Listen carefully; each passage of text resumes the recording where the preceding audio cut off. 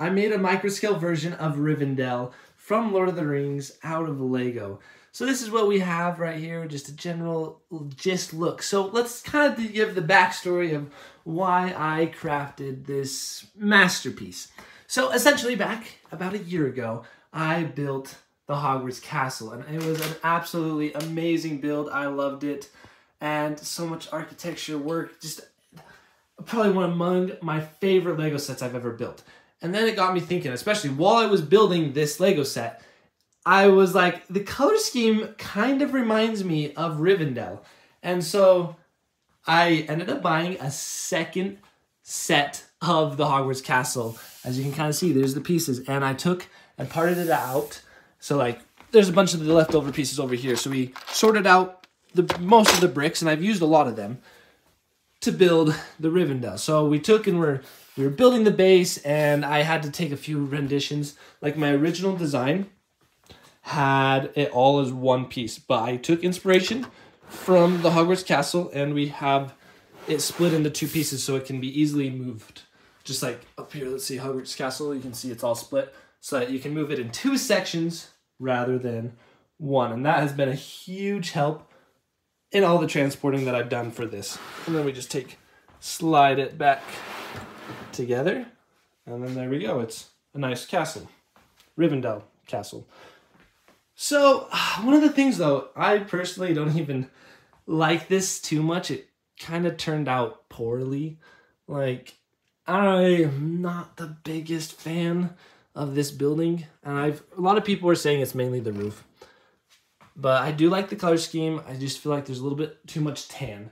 Like one of the things that I did try on Rivendell was using gray roofing like the Hogwarts had, but it did not work for Rivendell. And then I also used to have way more of this foliage on here, the green stuff, and I took a lot of it off, and that has made it look better. Um, one of the other quite nifty building techniques was building these archways. I struggled on this a lot, but my brother ended up helping me, and I could kind of finish up the roof, but I ran out of this piece up there at that top. And then if we look at close, I have the paths all in brown and that leads around. And then something I don't like is if we take a look at the big building right here, it's kind of not scaled correctly. Um, oh yeah, let's take a look.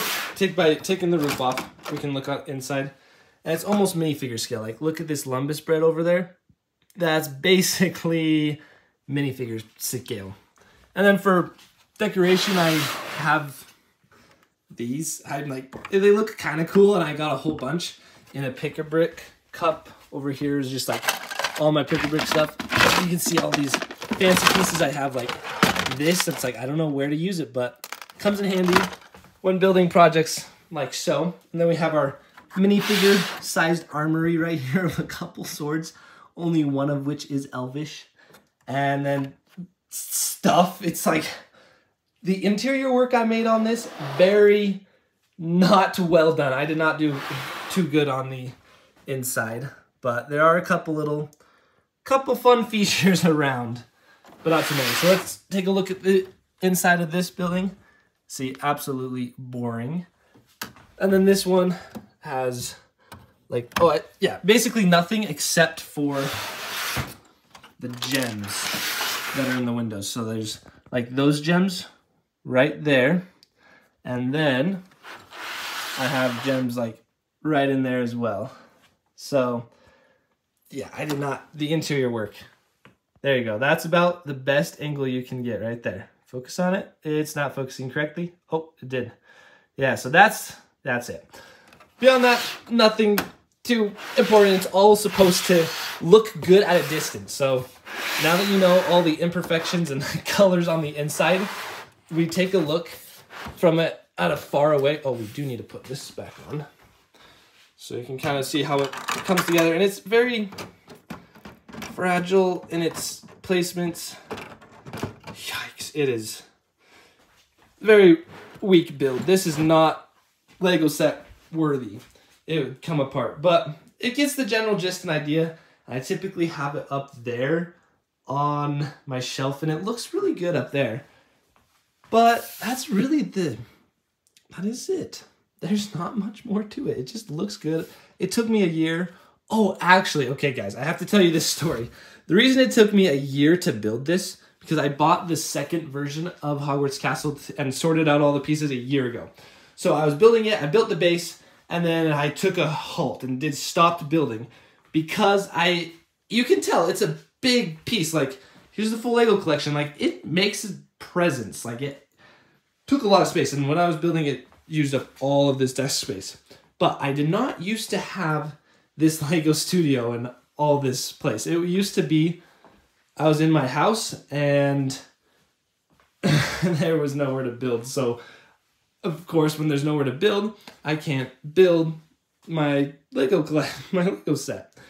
And so basically, in order to build and finish making Rivendell, I had to build this studio. So it took me then a few months to just hand build this and there was much less Lego things going on, but we have our general Lego studio that I can now build all the Lego at all the times whenever I want. Like we are currently filming this. Oh, almost at midnight. Oh, my silly watch won't even show me because it's supposed it it turns off when it's bedtime, so and it won't turn on because it's saying you should be asleep. So as I said, I can build Lego anytime now, so it makes it happy. I like having this place. And the best benefit that came out of this place is I was able to finish our Rivendell. So that wraps it up. There's my custom microscale Rivendell.